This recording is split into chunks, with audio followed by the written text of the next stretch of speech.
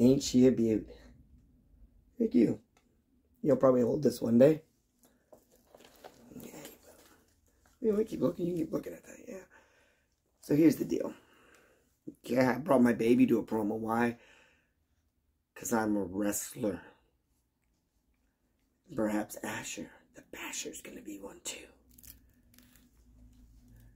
But since I wanted to make things real personal going into November 11th, Battle Wasp. Let's talk about it. You and I have known each other, well, since you were about this little guy's age, right? You like that? Yeah.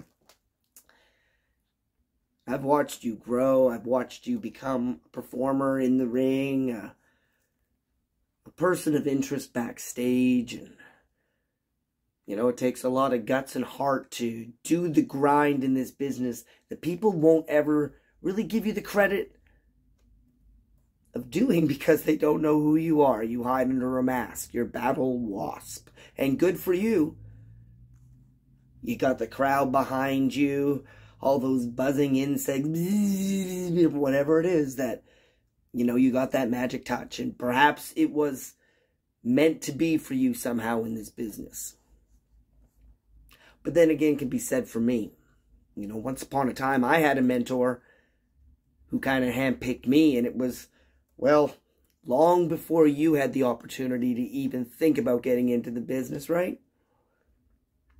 And I think that that's what really stings here because it's really a generation versus a generation as we continue. You want the new age. You want to be the buzzing insect of All Star to bring in the 2024 era of the Cruiserweight division. I want to make sure the history and lineage of All Star Wrestling continues. I took this championship December 2nd last year. December the 2nd, I stole this belt because nobody was doing anything with it. It was in a box in the back. Let me remind you, doing nothing. No one cared about the cruiserweight division. No one even wanted to see this title out there. It was all about the new pretty heavyweight belt and the fact that the Bollywood Boyz were the tag team champions and blah, blah, blah. But now what? Now, a year later, this championship has been all over Western Canada. It had one of the most interesting situational storylines to start the year. I won it on March 4th, and here we are. Politics, politics. Haven't defended it once, yet it's still more relevant, still more on social media than most any other championships. And going into November 11th is the most talked about match of the night. Things are going to get personal between you and I, Battle Wasp. Things are going to sting.